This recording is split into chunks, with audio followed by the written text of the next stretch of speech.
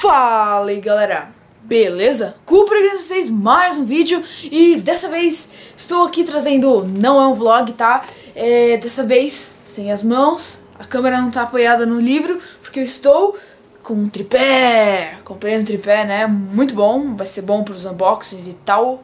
E galera, dessa vez estou trazendo para vocês um vídeo de top 8 dos meus Skylanders favoritos. E não são qualquer Skylander, são apenas os novos é, dos Skylander Giants, exclusivos dos Giants, que é, por exemplo, Sprocket, Jetvac, Fright Rider, Pop Fizz, Chill, é, Shroom Boom, é, Hot Dog e Pop Fizz. Isso. É, lembrei dos oito, ainda bem. Uh, tá. É, então, galera, eu vou começar aqui o top 8, não vou enrolar. E o, em oitavo, na oitava posição está o... Sim, galera. Jetvac. E na oitava posição está Jetvac, estou aqui com o normal, tem o Lightcore também. Galera, não é que eu não goste dele, é porque, eu não sei, os, os poderes dele não são bons. Os poderes dos ataques, ele, é, ele é um Skylander fraco, ele não é rápido, e a aparência dele não é tão legal assim. Sei lá, eu esperava mais um Skylander do tipo de vento, porque os tipos de vento são bem legais, dá pra fazer... O Swarm foi um Skylander muito bom dos Giants, e o Jetvac eu esperava mais de um Skylander novo do vento. E é por isso. Bom, agora na, na sétima posição temos um Skylander que, sei lá, é mais ou menos, assim, foi muito difícil gravar tudo isso, mas, porque eu gosto de todos. Mas na sétima posição está... Ele atira, ele dá esporada. Sim, galera, está Shroom Boom. Galera, também, é... ele é um pouquinho melhor que o Jetvac, mas assim, ele, ele é meio... como posso dizer? Os ataques... É tudo basicamente por causa do ataque. Porque os ataques dele, galera, tipo, ele só lança... Os bons, ele só lança essa coisinha aqui. Porque o resto ele faz um, um escudo, que é que nem o Zuki, que não funciona o escudo. E ele lança uns negócios pra cima também que demora muito pra atacar. Então o ataque dele é extremamente fraco, apesar do design dele, o Skylander em si, ser muito legal. Mas pra mim o ataque é muito importante, pra mim o Skylander, eu gostar de um Skylander ele ser bom, usar. Por isso que meu Skylander favorito, eu não vou contar pra vocês, tá? Mas ele, meu Skylander favorito, ele é super forte, é o mais forte que eu tenho. E em outro vídeo eu falo pra vocês. Bom, agora na sexta posição nós temos comigo! Sprocket, galera. A Sprocket está na nossa sexta posição, é Skylander feminina, né? Ela é do elemento tecnológico. Galera, a Sprocket, é, o design dela não me atraiu muito, porque, sei lá, ela parece um ser humano mesmo e... Sei lá, tipo, e os ataques dela também não são tão bons assim. Até que alguns são. Os ataques são legais, muito maneiros, só que não são bons. Então, mais ou menos isso, ela é melhor que o Jetvac, que o Shroom Boom, porque, sei lá, eu, eu gosto desse, desse Skylander porque usa muito carrinho, faz os robôs, tem mina terrestre, um monte de coisa. Os ataques são legais, não quer dizer que são bons. Mas é por isso que ela fica na sexta posição, mas isso não quer dizer que eu não gosto de nenhum deles. Bom, galera, agora na quinta posição nós temos o... Sim, galera, Fright Rider, o Scalene do elemento Undead. E Fright Rider é um Scalene que eu quis muito e quando eu comprei junto com o Hot Dog, que tem um unboxing aí no canal, é, eu pensava que eu ia usar ele muito, só que eu comecei a usar e, sei lá, comecei... Os ataques dele não são bons porque, sei lá, ele fica em cima desse bicho aí que é um esqueleto de um avestruz, eu pesquisei, é um avestruz, tá? É, relaxa que eu vou cortar o meu cabelo amanhã, tá? ok?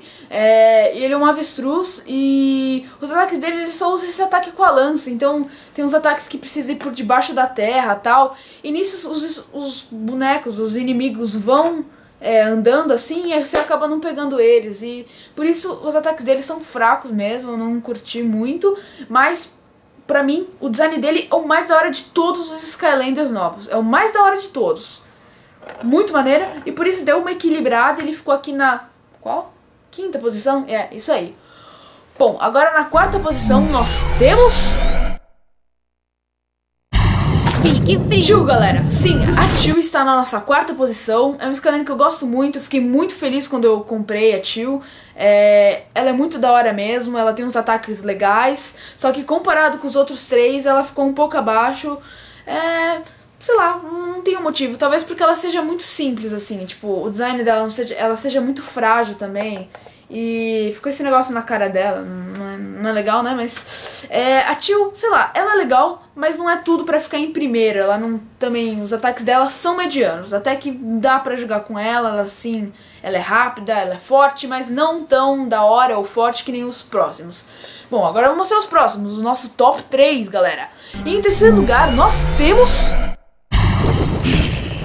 Olha o ponto de fogo. Sim, galera, hot dog. Lembrando, eu não tenho hot dog normal, só tenho molten hot dog, mas estou providenciando para ter o normal, mas ele serve como mesmo. Hot dog, quando eu comprei, eu já usei na hora, ele é muito legal.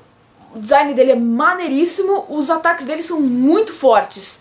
Ele é um scanner espetacular, eu recomendo a todos que compre hot dog, se você está na dúvida com hot dog ou um Sirius 2, assim, compre o hot dog porque ele é muito maneiro, eu curti muito ele, mas o motivo dele estar na terceira posição é, bom, é que eu tenho que falar do segundo e do primeiro, porque, sei lá, os outros tem, também são fortes e o design é muito legal, mas é de acordo com o poder, assim, o poder dele não, tipo, o poder dele é mais ou menos assim. Ele é forte, mas não é legal, entendeu? Ele é bem forte e é por isso.